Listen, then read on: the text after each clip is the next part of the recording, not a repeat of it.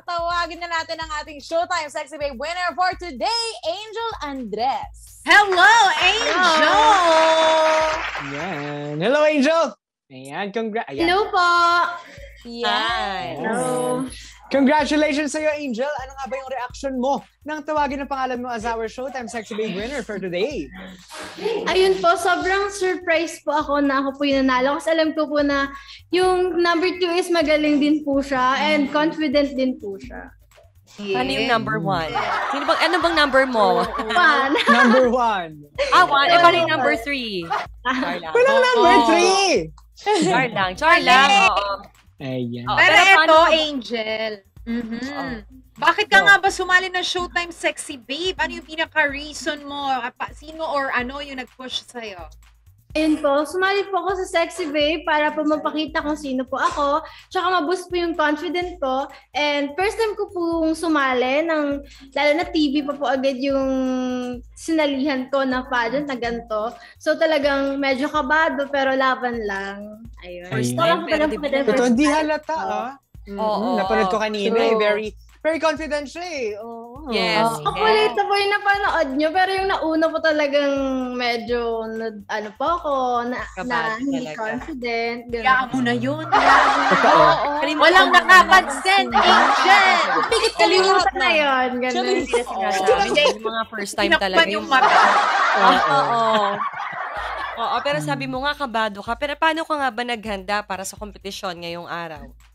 Ayun po, nag-search search po talaga ako ng mga posting, kung paano magtamang gesture, ganun po. Then, nakahelp din po sa akin yung mga kasama kong contestant sa villa na pinagstayan po namin. Ayun, t- ayun po. Ayun. Wow. Talagang Talagang ano, tulungan, no? Yes, tulungan Yes. po. Tulungan. Oo. Pero yan na nga, gusto ko lang malaman. Ako lang, ako lang gusto malaman. lang. Oo, Oh, ikaw lang may gusto mo.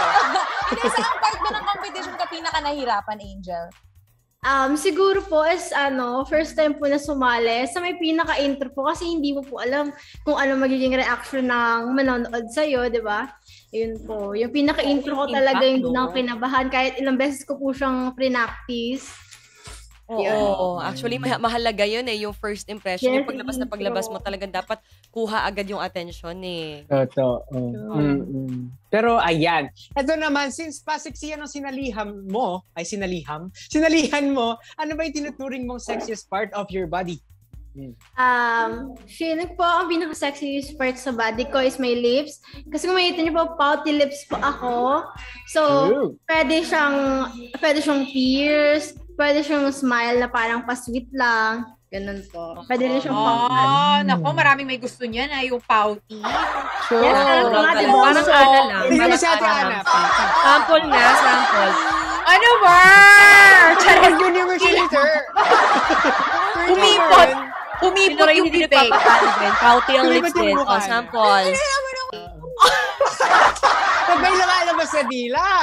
Oh. Ay, akala ko part two. Sorry, sorry. Bakit may padila? Naloka na lang yung points daw pag may Oo. medal. Hindi na nga. Wala, manipis yung labi ko, walang laban. Okay. Ay, oo. Diba? Pouty eh. Oo, Oo, kay. Angel Pouty talaga. Pero eto ha, para sa'yo nga ba, ano nga ba ang definition ng pagiging sex? Ah, para po sa akin, ang pinaka-definition po ng pagiging sexy ay kung ano ka, ano yung pinaka-personality mo, ano yung pinapakita mo sa ibang tao. Hindi naman po physically na pag sinabing sexy curve or whatever. Pero yung pinaka, yung may ibaba po talaga sa ibang tao is yung personality mo, kung paano ka maitungo sa kanila, paano ka sumagot, yun po. Sa tingin mo ba, Yes. Angel, ano yung personality mo na wala doon sa mga ibang naging kandidato natin dito sa Showtime Sexy Babe? Yung parang edge mo na pag sinama ka kasama yung mga iba pang nag-join ay Ang hirap ng tanong. Mangingibabaw. So, Ah, Totoo. Kung binibili nahirapan eh. Oh.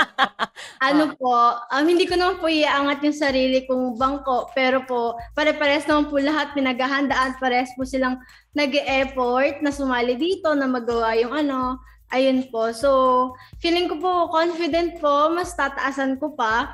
Siguro yung wala lang sa ibang candidate na meron ako is yung pagiging witty ko na talagang kung ano yung personality ko as a person, kung ano po ako sa totoong buhay in real- reality. Ganito po ako. Ganito rin po ako mapagsala sa mga friends. Oh. Authentic. Natural. Mm. Yes. Pero ayun nga, sabi mo kanina, mas magpe-prepare ka pa. Paano ka pa maghahanda para sa weekly finals? Ano yung yung specific na gagawin mo? Um, siguro po, magpapaturo talaga po ako sa mga, dati kasi meron akong agency ng modeling, baka magpaturo ulit ako ng kung paano yung tama kasi biglaan lang din po yung mga nangyari na hindi talaga ako ready na yung lalo sa ramp, sa masyadong kabado, yung heels ko masyadong ano, so yun po yung mga paghahandaan ko, yung pag-ramp up po talaga. Hoy, abangan natin yung mga improvements na gagawin ni Angel. Good luck sa'yo. Abangan. Yes. Yes. Oo nga. Pero yan na nga, Angel. Baka may gusto kang pasalamatan at batiin. Ayun po, thank you po sa mga ano, mga kandi- mga ah, mga naging yung magiging ah, wait lang, wait lang. Yung magiging candidate din po na sexy babe na nasa villa ngayon, thank you po kasi hindas nila talaga ako for posting, for gesture, ganyan. Sila po talaga yung tumulong and I'm so thankful po para sa kanila. Tapos thank you rin po sa family ko and sa boyfriend ko. Wow! Yeah. Wow. Ayan. Kaya naman, sure ako na sobra silang proud sa'yo yung mga tumulong sa'yo. Kaya, congratulations, Angel Andres. Congrats! Congratulations! You. Oo. It's showtime! Buong pamilya, buong angkan. Hey! Kasiyahan,